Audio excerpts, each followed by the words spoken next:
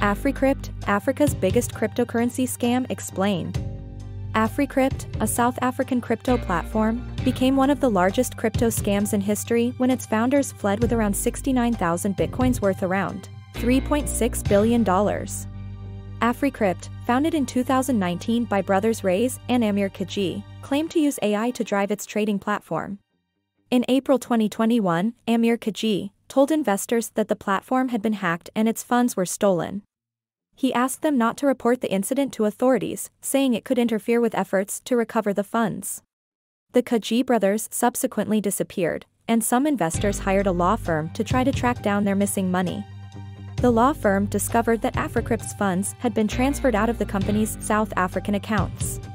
The Cajee brothers, suspected of spending time in Tanzania, the UK, and the UAE, have denied any wrongdoing and disputed the $3.6 billion figure. What do you think? Comment below. Don't forget to like and subscribe to White Hat Crypto. You can also find us on Twitter and Instagram.